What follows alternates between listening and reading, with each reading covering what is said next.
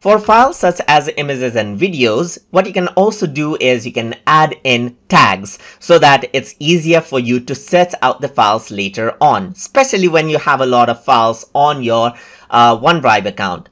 So what I'm going to do over here is go into images right here. And let's say this images is related to buildings, but the file name of this uh, uh, image is 5. So I don't know uh, if, uh, uh, so I don't know what to set for uh, if I want to set uh, for this particular picture.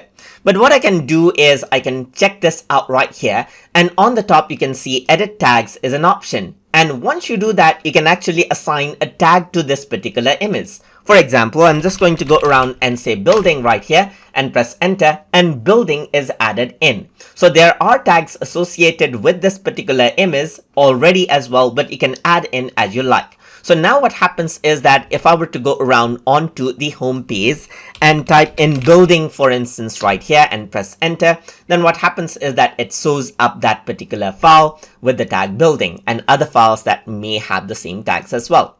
You can do this with videos as well, just like this. So you can select it out. And for any other file types that supports out tags, you got the edit tags option over here, as you can see. And once you go around and do that, you can see that you can go around and say something like, um, uh, like water right here. So this is what I want press enter and water tag is added in over here just like this. So I'm just going to go around over here, type in water and then you can see that water tag is here. And as I click on it, then uh, the uh, uh, uh, images and videos with that particular tag pops up over here as you can see. And this opens up in OneDrive Photos as you can see just like this as well.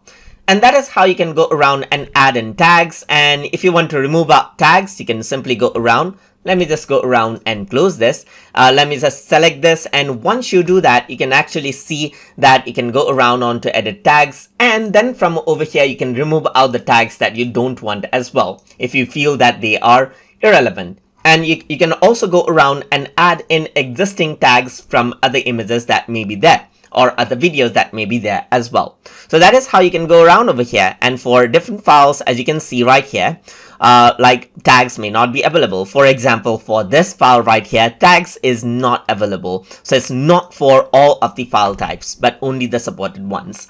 So that is how you can go around and add and edit out tags uh, to make setting easy inside of Microsoft OneDrive. So I hope you guys learned something as always. And as always, please like, comment, share, and subscribe